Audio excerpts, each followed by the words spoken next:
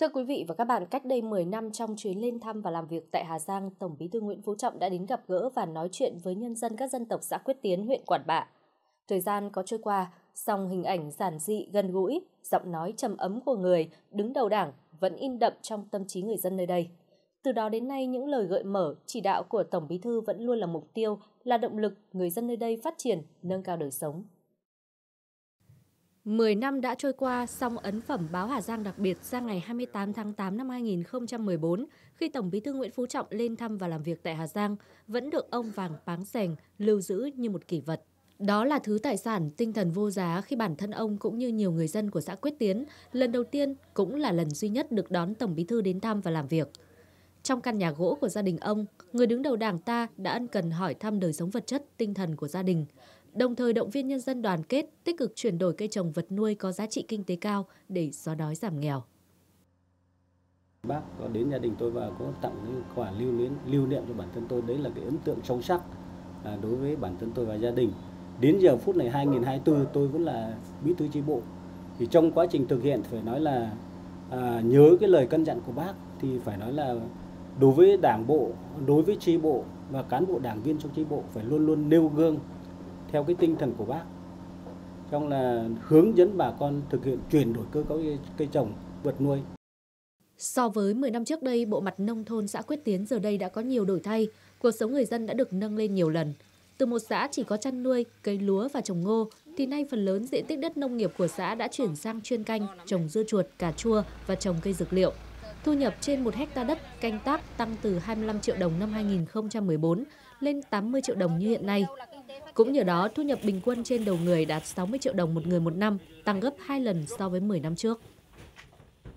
Thấm thoát đã 10 năm à, kể từ ngày Tổng Bí thư Nguyễn Phú Trọng lên thăm và làm việc tại tỉnh Hà Giang. À, trong câu chuyện của mình, à, người dân quyết tiến, cấp ủy chính quyền địa phương vẫn luôn nhớ như in hình ảnh người Tổng Bí thư gần gũi, sát dân, lắng nghe ý kiến người dân và luôn quan tâm chăm lo cho người dân. À, quyết tiến hôm nay đã khác, đời sống người dân đã được nâng lên từng ngày, bộ mặt nông thôn đã thay đổi. Tổng Bí thư có chỉ đạo à, nhiều vấn đề nhưng trong đó chúng tôi tâm huyết nhất là uh, lời dặn dò của bác uh, giữ vững cái đoàn kết các dân tộc uh, lãnh đạo tốt cái việc phát triển kinh tế xóa đói giảm nghèo nâng cao cái đời sống vật chất tinh thần cho người dân và xây dựng tổ chức đảng luôn luôn trong sạch vững mạnh từ năm 2014 chúng tôi có 15 tổ chức cơ sở đảng thì đến nay chúng tôi đã có 19 tổ chức ừ, đảng trực thuộc và số lượng đảng viên cũng ngày một tăng lên. Tổng Bí thư Nguyễn Phú Trọng đã từ trần, đó là mất mát to lớn của Đảng, nhà nước ta. Chọn cuộc đời, Tổng Bí thư Nguyễn Phú Trọng đã cống hiến cho sự nghiệp cách mạng của Đảng và dân tộc ta, luôn chăm lo đời sống nhân dân, được cán bộ, đảng viên và nhân dân kính trọng, tin tưởng và yêu quý. Chiều hôm qua là cô nghe thấy là Tổng Bí thư là mất từ trần rồi thì à, tôi cũng nhớ nhớ cho hết ngày đêm thậm chí là đến bữa cơm cũng không ngon miệng nữa. Nhắc cầm đến bát cơm là nhớ đến bác. Tôi thì một người rất là vất vả. Nghe thấy một người nào tốt bụng và gần gũi với dân, quan tâm đến dân thì tôi rất là nhớ, rất là xúc động. Ờ, được tin là bác trọng mất thì bản thân tôi và toàn thể nhân dân rất là xót xa cũng mong làm sao là các thế hệ sau kế cận ờ, bác Trọng thì uh, nâng cao về cái ờ, năng lực lãnh đạo rồi là quan tâm về dân.